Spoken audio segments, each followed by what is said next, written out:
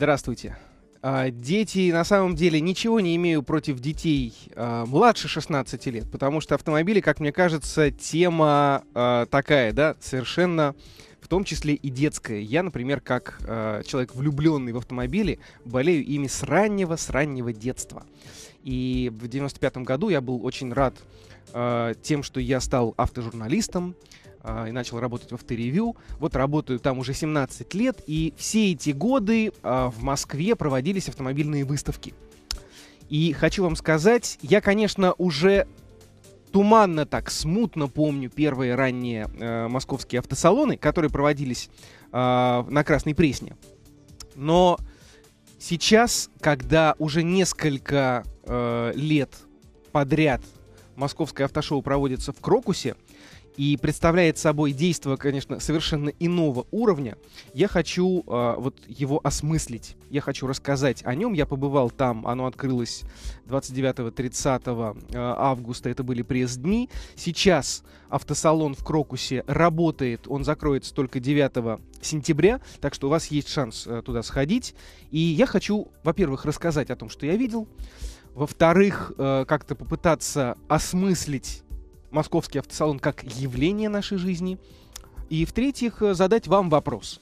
А вот э, пойдете вы на автосалон? Uh, не пойдете, может быть, ходили, но вам не понравится, вам не понравилось. Может быть, вы вообще не понимаете, что это такой за жанр автосалон. Uh, может быть, он вам помог выбрать автомобиль, а может быть и нет. Так что, пожалуйста, uh, звоните в студию 65 10 996, код города 495, естественно.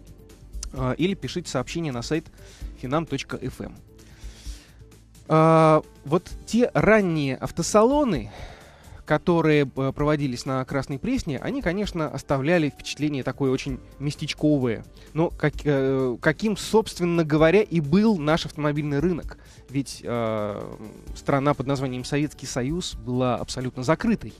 Мы жили за э, железным занавесом, у нас практически не было иномарок, и когда в конце 80-х, начале 90-х, вернее так, да, э, наш рынок стал все-таки открытым, у нас начали продавать там, сначала там потихонечку Mitsubishi, Toyota и так далее, потом э, начали подтягиваться все остальные.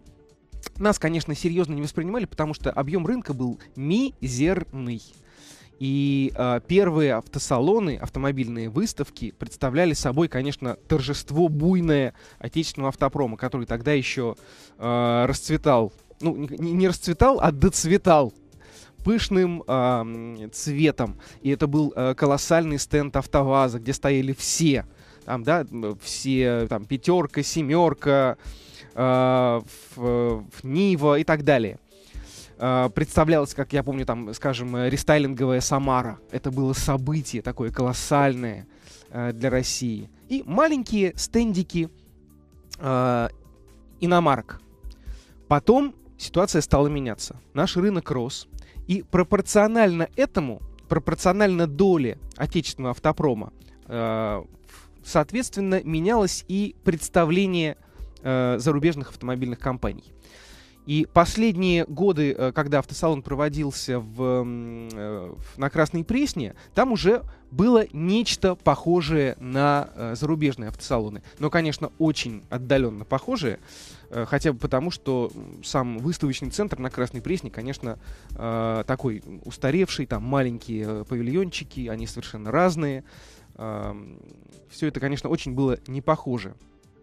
И вот несколько лет назад впервые автосалон переехал в Крокус. И мы, конечно, мы прямо все так вздохнули с облегчением, потому что большие залы, э, хорошие парковки, ты приезжаешь, э, спокойно ставишь машину, заходишь, э, там э, были уже были совершенно нормальные стенды, ничуть не хуже, чем э, в каком-нибудь там на парижском автосалоне или на франкфуртском. Конечно же, было меньше гораздо новинок и меньше машин, но все это уже э, было похоже. Э, сейчас э, московский автосалон, тот, тот который называется ММАС, он, это биеннале. Оно проводится дважды э, э, через год, то есть оно проводится вот по четным годам э, перед парижским автосалоном. И уже предыдущий два года назад автосалон э, в Крокусе э, просто вызывал чувство гордости. Такой, да, ты заходишь, и, э, ну вот мы, автожурналисты, естественно, э, бываем на всех и на Женевском автосалоне, и на Парижском, и на Франкфуртском, и в Токио. И вот мы тогда зашли в Крокус, и так, значит, отлегло. Ну, все, почти Европа. В этом же году э, все еще лучше, потому что автосалон стал ровно в два раза больше, чем два года назад. Э, и площадей больше, и, в общем-то, э, представительность тоже вполне на уровне. Только редкие-редкие компании его проигнорировали. Э, и самое главное, очень много премьер. Причем не только, знаете, как они там очень любят, там, там мировая премьера, совершенно новый э, Land Rover Defender. А Defender-то выпускается десятки лет, и там все что нового, что они сейчас представляют, это два новых, там, две новых опции и там легкое обновление. Э, нет. Например, э, Mazda 6, новая Mazda 6, показана впервые именно в Москве. И это очень-очень круто, потому что э, такая, да, полноценная мировая премьера. И не то, что эту машину, предположим, сначала показали там-то, потом сям-то, а потом, так уж и быть, привезли в Москву. Нет.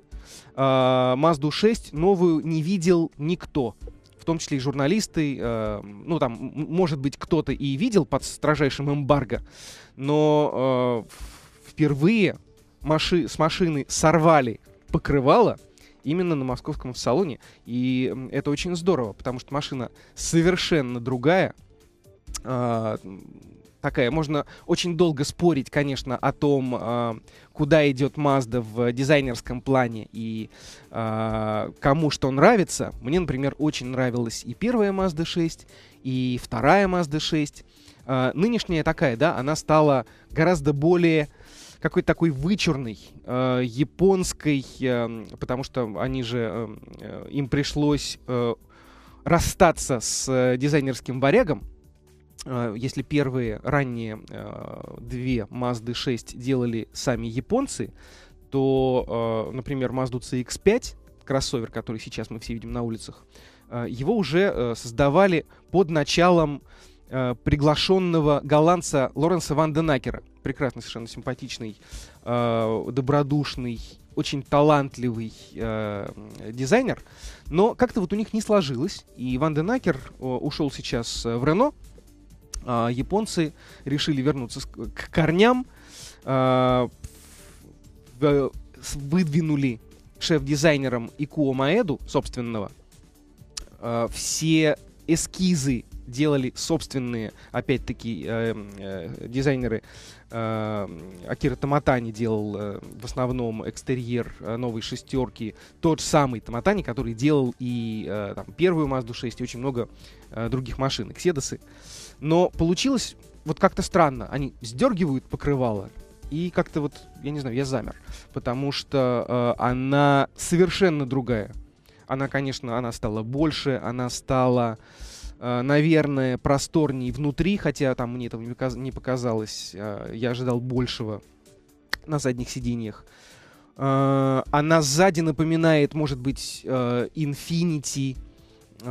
Спереди вообще какие-то там концепт-кары. Спереди даже там Фискер Карма вспоминается.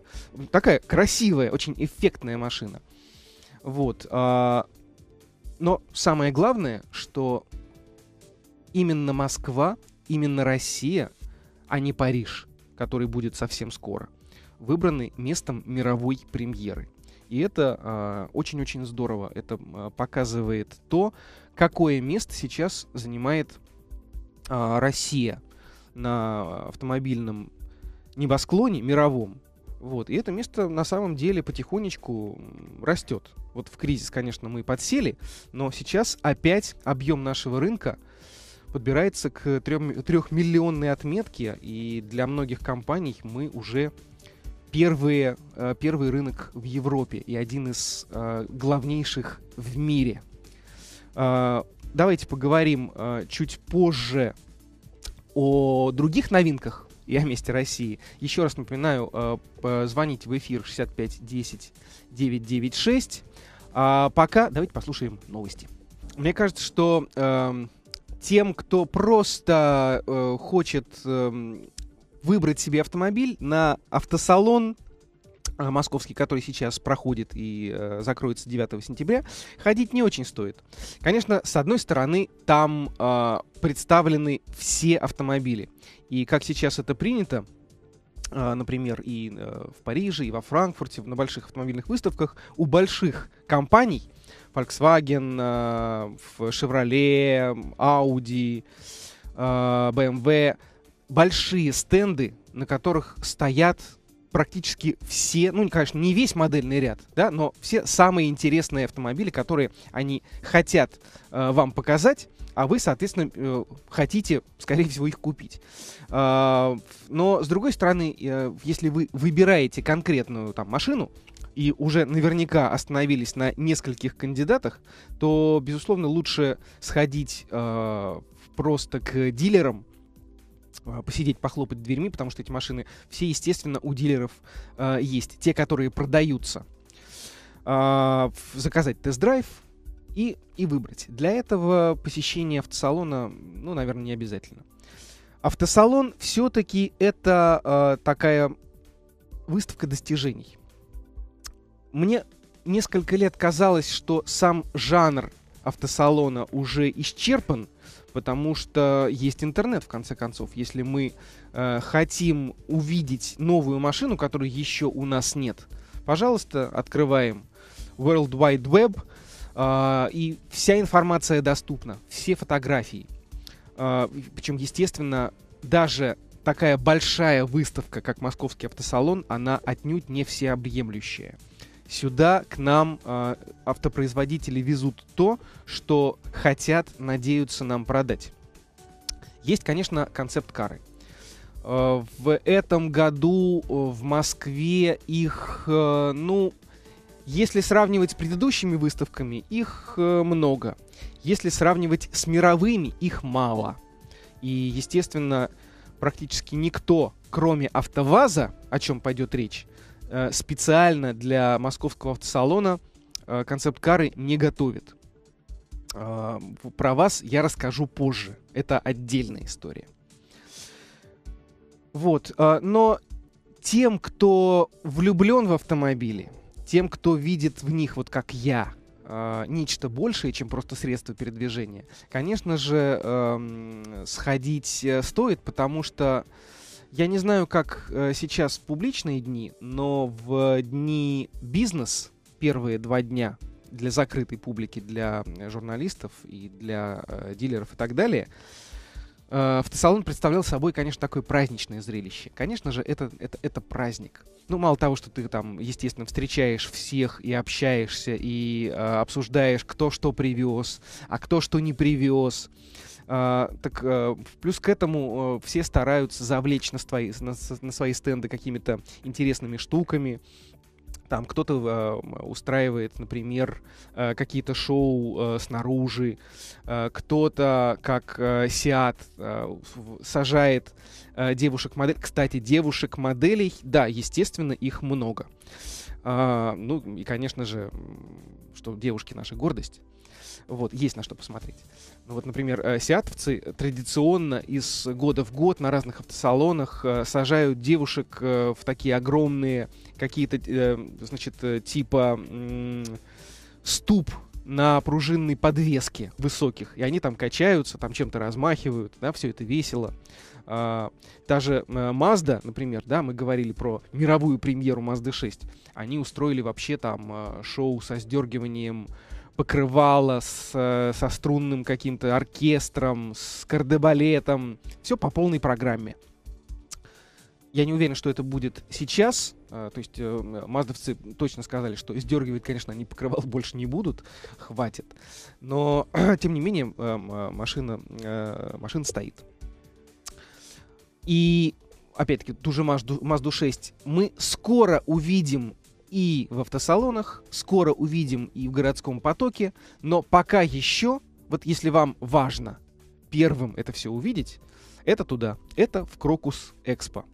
Кстати, очень здорово, что э, ехать туда, в, в общем-то, приятно сейчас э, в, из Москвы. И, наконец-то, там открыто метро. Естественно, если э, вот сейчас начались пробки, я, например, э, поехал бы туда сейчас э, только на общественном транспорте. На автомобиле нет. Итак, автосалон московский. Э, нравится вам э, или нет сама идея? Были вы или собираетесь пойти? Звоните, пожалуйста, в эфир по телефону 65 10 996, код города 495, или пишите на сайт finam.fm. Э, российский рынок для многих автопроизводителей странный. Вот, например, для э, марки Mercedes – у нас э, долгое время бестселлером был не э, C-класс компактный, не А-класс, а S-класс, самый дорогой. И у нас очень э, сегмент премиум, сами знаете почему, э, процветает. И поэтому очень много премьер, э, в общем-то даже мировых, относятся к премиум-сегменту. Например, э, у BMW это обновленная, обновленная семерка. Обновлений немного. Э, вот мой коллега э, Павел Карин уже ездил на этой машине и рассказал, что она стала гораздо комфортнее. Но, тем не менее, обновление есть, и это здорово, что формально мировая премьера рестайлинговой семерки именно в Москве. То же самое Lexus LS – э, аналог, э, конкурент BMW 7 серии. Причем даже, э, в общем-то, это круче, потому что э, Lexus LS сейчас считается новым. То есть, опять-таки, премьера нового автомобиля на московском автосалоне, а не на парижском, который пройдет скоро. Uh, правда, на поверку LS оказался таким все-таки, ну, считайте, тот же самый рестайлинг только гораздо более обширный, там другой интерьер, э, но техника та же, кузов э, примерно тот же, с другим, вот то, что называется рестайлинг. Машина выглядит по-другому, но на самом деле это, конечно же, модернизация. Э, интересно, что вот в принципе в московском, на, на московском автосалоне хорошо, большие стенды и есть на что посмотреть, но организация пока еще, конечно же, хромает. Uh, я сел в семерку для того, чтобы послушать новый аудиокомплекс uh, Бен Гондоловсон. И не смог этого сделать. Uh, потому что он не подключен ни к чему, радио не ловит, никакой там, да, э, диск uh, жесткий внутри пустой. Я подхожу к ребятам, говорю, ребята, а можно там что-нибудь, хотя бы проводочек какой-нибудь, чтобы подключить iPhone Ничего. Совершенно. Uh, увы, увы, вот uh, в этом смысле Москва, конечно, пока еще не дотягивает до uh, зарубежных uh, выставок высшей категории, но лиха беда начала. Uh, еще одна премьера в таком, в премиум-классе, это Mercedes uh, GL63 AMG. Этой машины раньше не было. Mercedes GL — это большой внедорожник, самый большой внедорожник у э, марки Mercedes, э, такой растянутый э, ML. И если у ML была версия AMG, то есть самая мощная, с э, таким двигателем, который позволяет разогнаться до сотни э, секунд за 5, то у GL ее не было, потому что зачем? Потому что зачем гонять на большом семейном автомобиле, семиместном? Однако именно для России, для Ближнего Востока, для Китая такую машину сделали, потому что э, наши просили. Ну, тут можно долго рассуждать о том, э, насколько это хорошо, насколько это высокоморально и так далее, потому что, в принципе, действительно, ну, идея такая довольно бредовая. Э, засовывать двигатель от суперкара в огромный внедорожник и заставлять его ехать быстро, причем в основном по асфальту. Но, тем не менее, мы видим, что э, эти машины пользуются спросом. Э, тот же там Porsche Cayenne. И Porsche, например, опять-таки, э, ну, это можно считать такой, конечно, э, премьерой э, с натяжкой, потому что эту машину уже видели, на ней ездили, но Cayenne э, GTS, э, тоже заряжен Cayenne такой, да, с безнаддувным мотором, он не турбо, но, тем не менее, он быстрее, он с, такой uh, странный вообще, конечно, жанр, опять-таки, uh, внедорожник, большой кроссовер, который предназначен, создан для езды по, быстрой по асфальту. В общем-то, с одной стороны, бред. С другой стороны, люди покупают. И премьера Cayenne GTS именно в Москве. Меня, кстати, насторожила очень фраза, брошенная Э, топ-менеджером э, Porsche, что Cayenne GTS это истинный спорткар. Вот мне это было слышать странно, потому что для меня истинный спорткар Porsche это, конечно же, 911. Э, новый 911, естественно, есть на стенде. Э, я не знаю, будут ли они пускать всех на стенд, потому что э, очень многие премиум марки на выставках поступают так по-снобски они огораживают всю, э, всю свою выставку такой стеклянной стеночкой и пускают туда только по спецприглашениям. Вот таковы Porsche, таковы Ferrari, э, которым даже на пресс-дни там, да, просто так э, не войдешь-то э, со свиным рылом-то в калашный ряд. Э, таковы э, Rolls-Royce, и э, вот э, на автосалоне Э, интересно, что в пресс-дни на э, стенде Rolls-Royce не было фантома моего любимого, но сейчас они его обещали привезти, сейчас он должен быть выставлен. Э, зато на пресс-днях показали совершенно фантастическое фантом-купе, автомобиль, который похож на, я не знаю, на Титаник, который там садишься внутрь и совершенно обалдеваешь от количество и качество огромных металлических деревянных деталей. Невероятно, невероятно построенная машина, конечно. Пока еще э, не ездил, очень, очень надеюсь это сделать. Вот. Э, но тоже вот я боюсь, что туда просто так не зайдешь, только по спецприглашениям. Ну, не знаю, насколько это правильно. Мне кажется, что если уж ты показываешь автомобили публике, так показывай.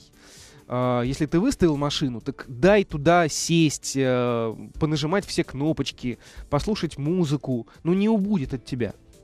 Но, видимо, там боятся, что поцарапают, боятся, что что-нибудь отвинтят э, и украдут. Хотя там все странно, там все время дежурят э, люди, там девушки и так далее.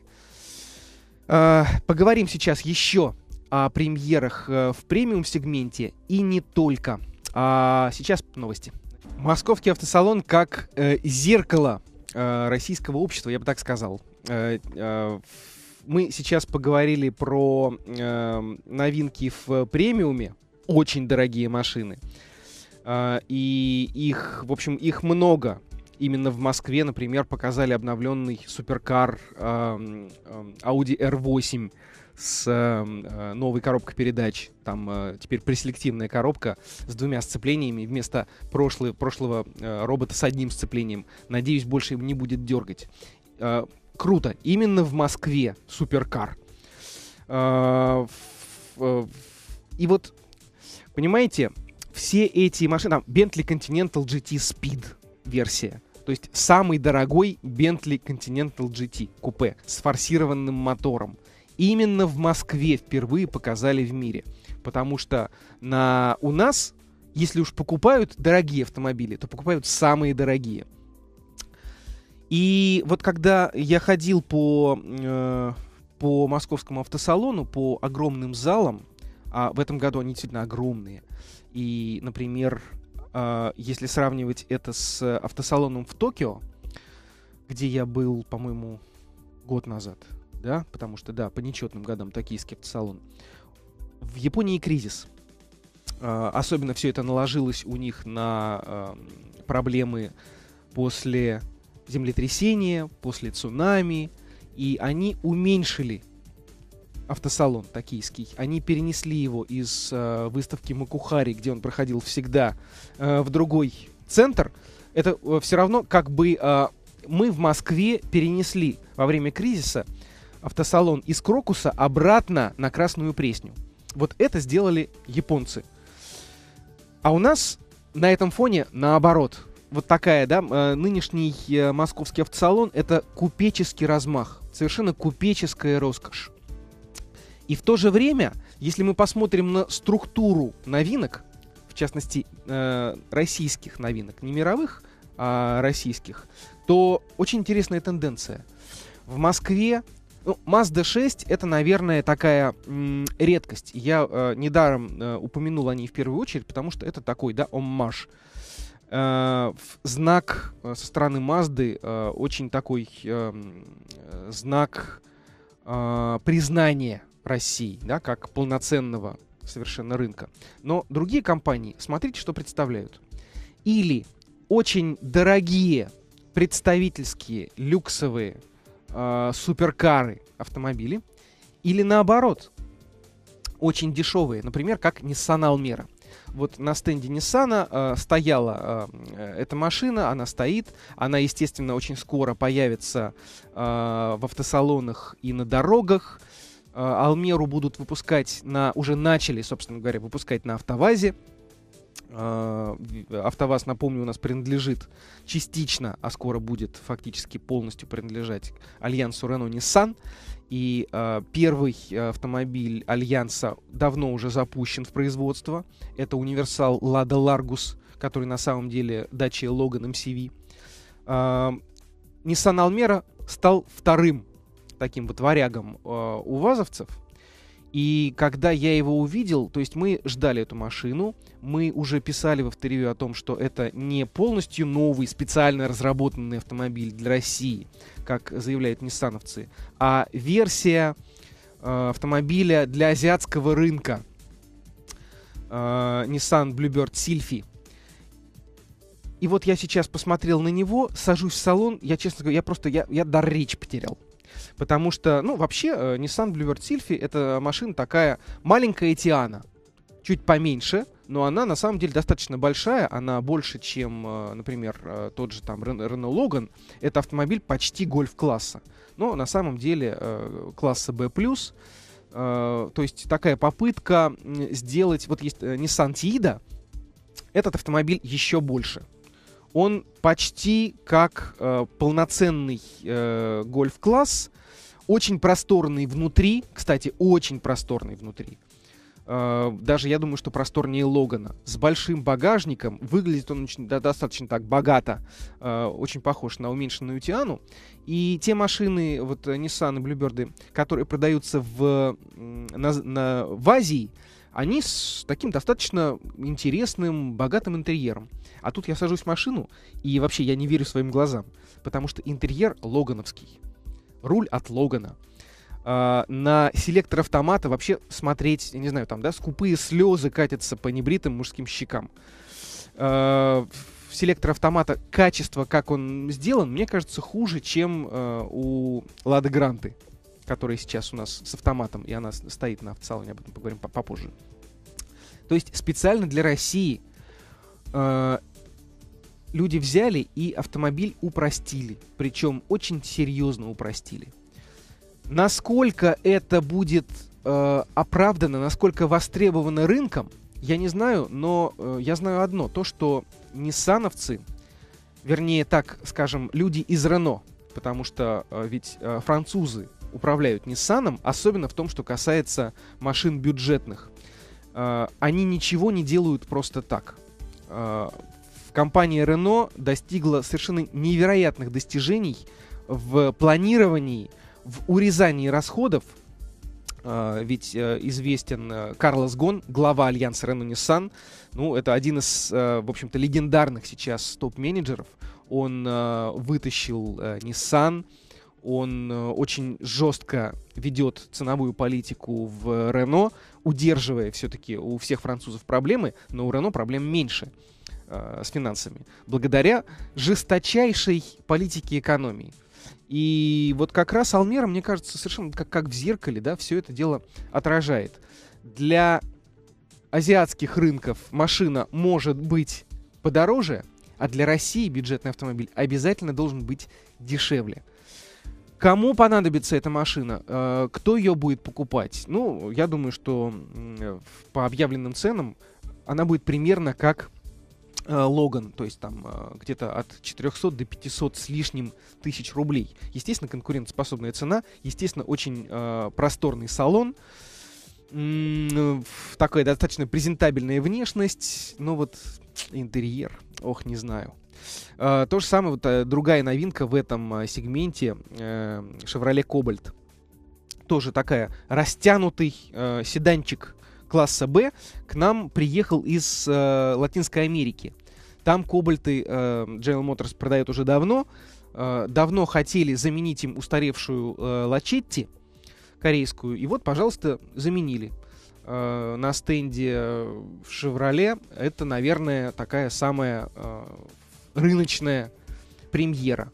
Конечно, с другой стороны, очень странно. Я вот э, там сел в Кобальт, потом пересел в Авио, в седан. И немножко я остался в недоумении, да, у них будет два бюджетных этих вот э, таких народных седанчика, причем Авио гораздо теснее на задних сиденьях, но будет продаваться дороже. Не очень понятно зачем, э, не очень понятно, как они будут сосуществовать на рынке, но что, тут ребята э, знают, что делают. И вот этот сегмент бюджетных машин, который э, растет, к нему частично можно э, причислить и, например, Peugeot 408. Это, ну, это вообще, так сказать, не, не, так сказать не, это только российская премьера потому что 408 давно продается в Китае. Э, седан на базе Peugeot 308, растянутый, очень просторный сзади, потому что китайцы любят просторные машины. Ну, в общем-то, и мы, наверное, тоже любим просторные машины. В этом нет ничего плохого. Но интересная получается тенденция. Для России мир, получается, готовит или очень дорогие автомобили, или очень недорогие. Вот меня беспокоит то, что э, практически нет премьер в среднем классе. Вот, может быть, за исключением э, Mazda 6. Ну, можно упомянуть, например, э, еще и э, Opel Astra седан. Эта машина такая, конечно, да, для среднего класса, ну, как Peugeot 408. Это все-таки такие достаточно машины, конечно, не дешевые. Это хорош, хорошо оснащенный автомобиль, это на уровне Ford Focus, там где-то там 600-700 тысяч рублей. Uh, интересно, что новый, новый седан uh, астровский, он менее просторен, чем старый, потому что старый, который продолжает продаваться и выпускаться в России, построен на растянутой платформе, а этот, соответственно, на обычной, не растянутой. Но этих премьер мало, вот, скажем так, в среднем классе. Они все останутся, они их всех приберегли для Парижа. Сейчас в Париже скоро мы увидим э, целую россыпь новых автомобилей, которых не показали у нас. И, честно говоря, меня это расстраивает. Вот несмотря на весь шик и блеск московского автосалона, мне хотелось бы, чтобы Россия была не страной бедных и богатых. Понимаете, да, о чем я говорю? э, не страной, в которых или Bentley Continental GT за, там, я не знаю, там, 12 миллионов э, рублей, или Chevrolet Cobalt за 500. А, к сожалению, э, все к этому идет, потому что те, э, э, та структура автопрома, которую сейчас продвигает наше правительство, она, в общем, на это и рассчитана, на выпуск большого количества массовых, дешевых, упрощенных машин. Кобальт, Логан, э, э, Nissan Almera, будет э, Datsun скоро. Сейчас э, его не было на автосалоне, но этот автомобиль готовится, опять-таки, для, так сказать, да, для э, рынков э, третьих стран. Понимаете, вот это все закрепляет Россию как третью страну третьего мира, как Бразилию. Я был в Бразилии, я видел тамошний поток, и мне было не, по себе, потому что там я был в Сан-Паулу, и когда ты оказываешься на тех дорогах, ты видишь нескончаемый поток вот этих вот маленьких седанчиков. Кобальты, Логаны, э, там, Volkswagen Gol, они все маленькие, они все серенькие, они все одинаковые.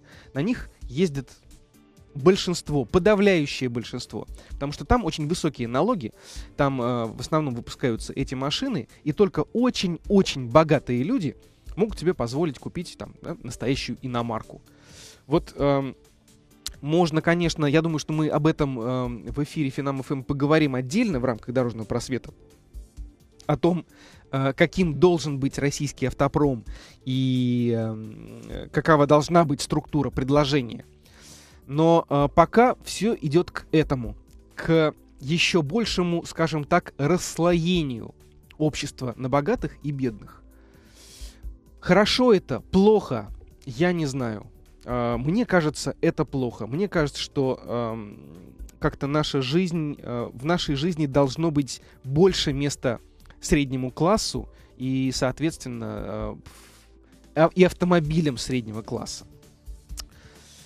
А, тем не менее, все идет так, как идет. А, и сейчас, после новостей, я расскажу вам про, наверное, самую интересную премьеру про АвтоВАЗ.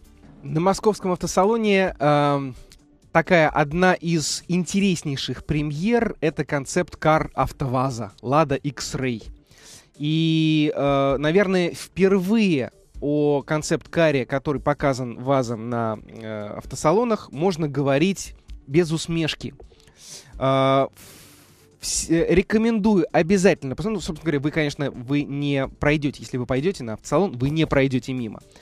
Э, он стоит в центре, э, он э, совершенно не похож на все те автомобили, которые его окружают, на обычные э, ВАЗы, там, на Нивы, Э, на, э, там стоит э, обновленная Калина, там стоит Гранта, и посредине вот это вот чудо, которое сделано под началом нового шеф-дизайнера АвтоВАЗа, Стива Маттина, который, на минуточку, бывший шеф-дизайнер Volvo. И все те автомобили, которые вот сейчас там S60, XC60, это все, все автомобили, сделанные под началом Маттина. А сейчас он уже э, около года работает э, на АвтоВАЗ, для АвтоВАЗа. И э, концепт Lada X-Ray — это видение, э, предложение Маттина по поиску нового лица этого бренда. Uh, я не знаю, вот как вы относитесь к этой идее. Дело в том, что X-Ray вот вообще не напоминает никак uh, предыдущие вазовские машины. Он абсолютно создан с нуля, он похож одновременно и на Kia, и на, там, я не знаю, и на Volvo, и на всех э, овчарок сразу. Он современный, он красивый.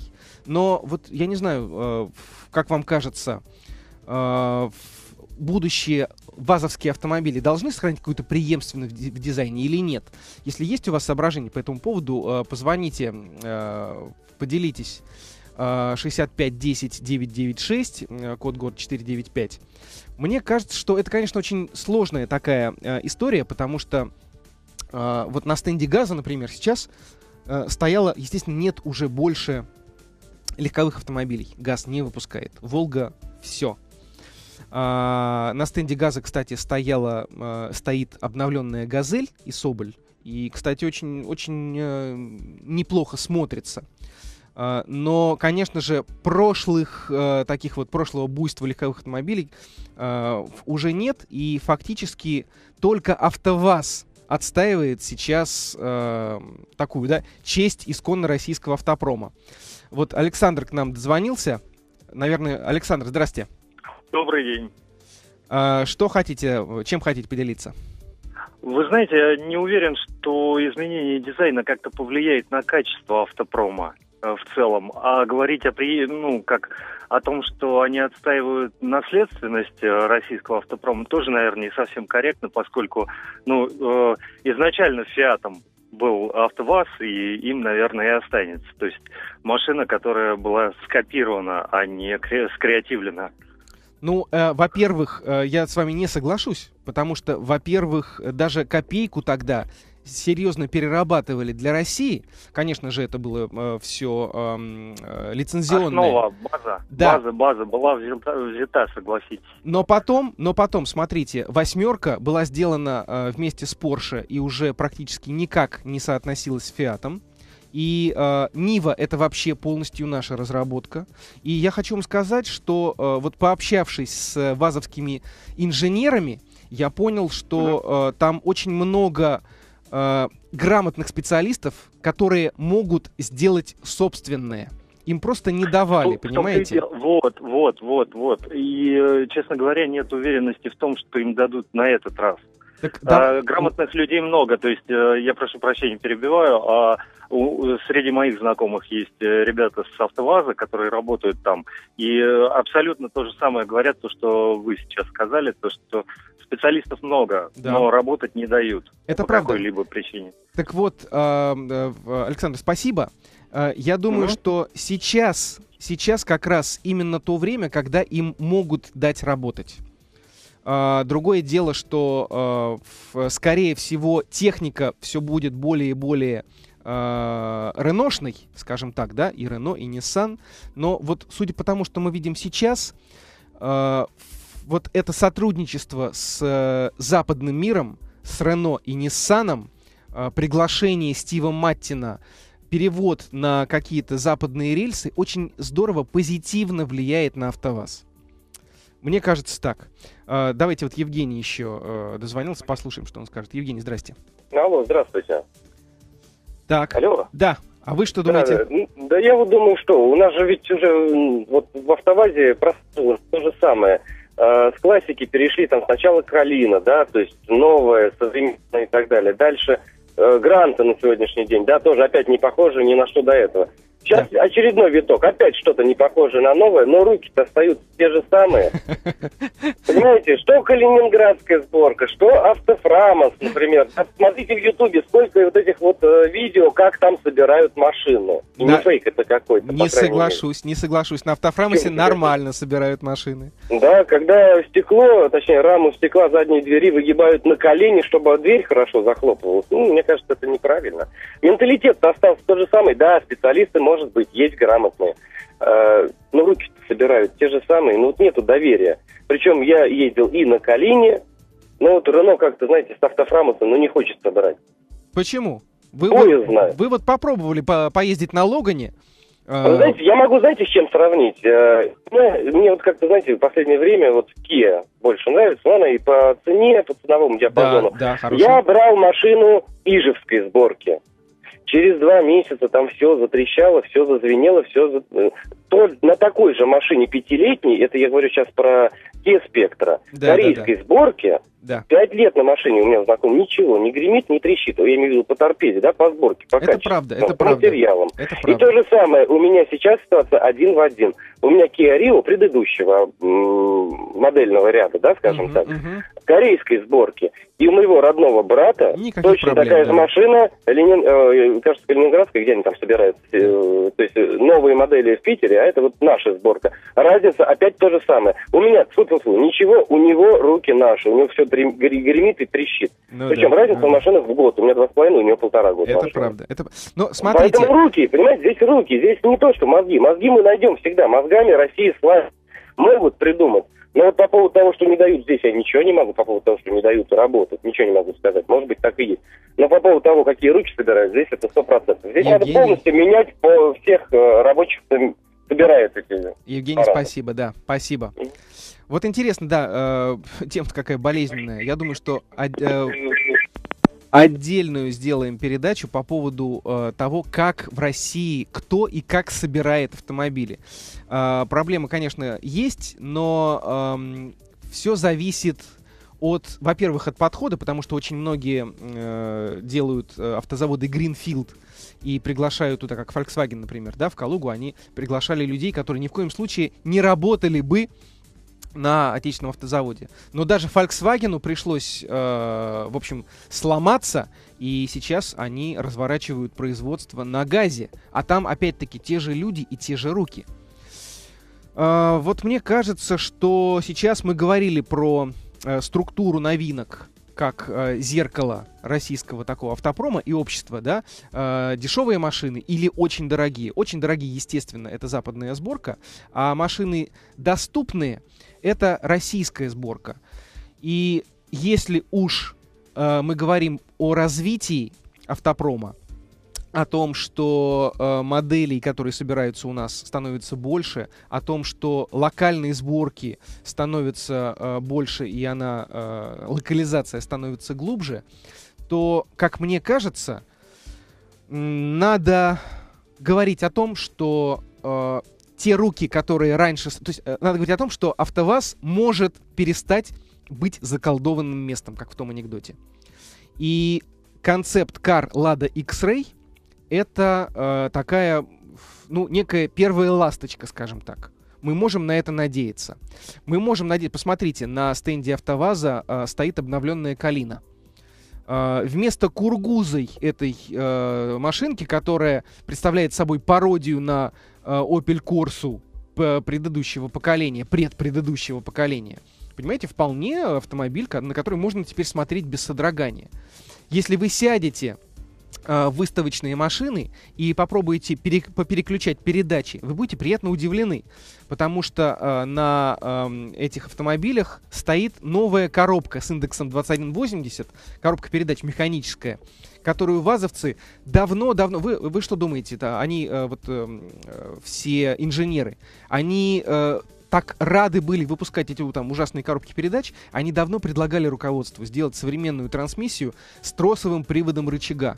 И только сейчас, когда э, пришли э, реношники, когда как-то, значит, э, стали бизнес-процессы э, становиться э, цивилизованнее, им, наконец, позволили внедрить эту коробку в производство. Она пойдет э, в следующем году, в первой половине. Мы э, уже увидим вот эту нормальную, наконец, трансмиссию, где вторую передачу не надо вбивать в подушку сиденья. Мы увидим и на Калинах, и на Грантах. Э, мне кажется, что это какой-то вот первый такой э, первый э, показатель того, что ну, АвтоВАЗ развивается в правильном направлении. Авто развивается хотя бы, потому что раньше все это было, в общем, ну, болото и болото, скажем так. И вот кажется, на автосалон стоит сходить, э, может быть, только ради этого. Вот тем, кто, как и я, любит автомобили, рекомендую это сделать. А, потому что мало того, что вы посмотрите на все новинки, мало того, что вы там в каких автомобилях посидите, а, какие-то увидите концепт-кары, как, например, там эм, гоночный электрокар, э, ниссановский, который вы ни, ни, нигде не увидите еще, вы еще и, ну, что-то поймете про, про нашу жизнь, про автомобильный мир и не только. Вот. А, а видите, как а, вазовская тема всех сколыкнула? Я надеюсь а, сделать одну из следующих передач только исключительно про АвтоВАЗ. Думаю, э, будет интересно. Если у вас э, есть какие-то предложения по темам, чтобы вам интересно услышать, э, звоните, связывайтесь с продюсером дорожного просвета Викторией Швец, пишите на сайт finam.fm. До встречи, всего хорошего.